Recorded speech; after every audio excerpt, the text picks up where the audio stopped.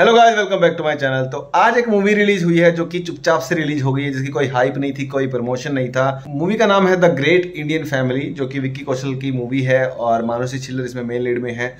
विक्की कौशल की आपने last movie देखी होगी, जिसका नाम था जरा हटके, जरा बच के मुझे कुछ खास पसंद नहीं आई थी, लेकिन वो मूवी काफ़ी हिट हुई थी।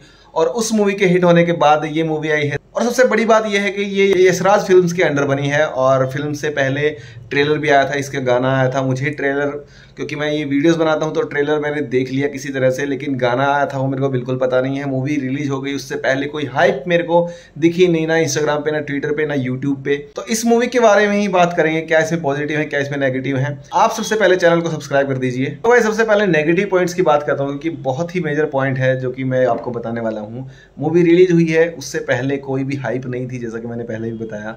यशराज फ़िल्म के अंडर ये बनी है, कोई छोटा बैनर भी नहीं है। इस बैनर के अंडर बनने वाली मूवीज़ की वैसे ही हाइप होती है, लेकिन मूवी काफ़ी डिसेंट है, काफ़ी अच्छी लगी मुझे। इसकी कोई हाइप नहीं थी। मूवी को हिट होने के लिए सिर्फ़ और सिर्फ़ वर्ड ऑफ़ माउथ की पब्लिसिटी की ज़रूरत पड़ेगी। अगर वो थोड़ा सा प्रमोशन करते तो मूवी अच्छी होती।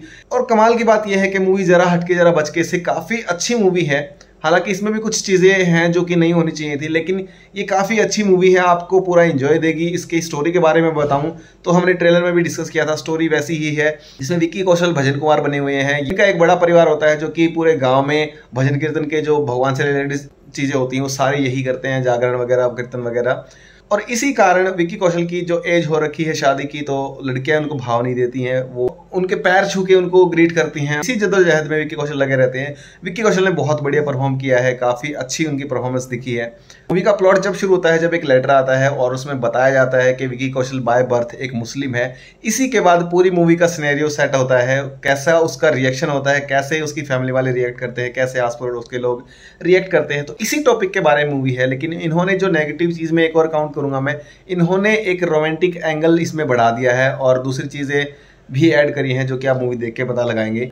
रोमांटिक एंगल अगर मानुषी छिलर के साथ नहीं होता तो भी कोई बात नहीं थी। ये जो टॉपिक पे बात करती है मूवी काफ़ी बढ़िया तरीके से बात करती है, आपको मज़ा आएगा देख के। और मानुषी छिलर की बात करूँ तो उनका एक नॉर्मल सा कैरेक्टर था, उतनी ज़्यादा कुछ चीज़ें थी नहीं। उनकी जब ज़रूरत होती है स्क्रीन पे, तभी उनको लाया जाता है।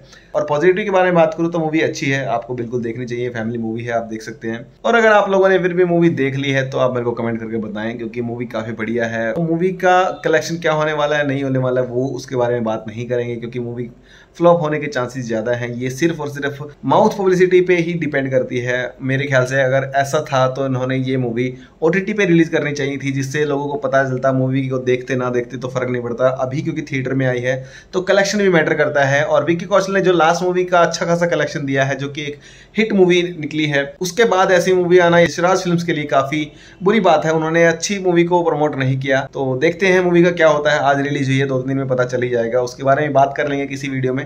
आप चैनल को सब्सक्राइब कर दीजिए, बेल आइकन दबा दीजिए ताकि नई वीडियो आए तो आपको नोटिफिकेशन मिल जाए। और जाने जान मूवी आई है नेटफ्लिक्स में, उसके बारे में मैंने बात करी है मेरे चैनल पर जाकर आप देख सकते हैं। मिलते हैं अगली वीडियो में। मैं हूँ उमित खुंडिया आप देख रहे हैं मूवी रैल बाय गाइज़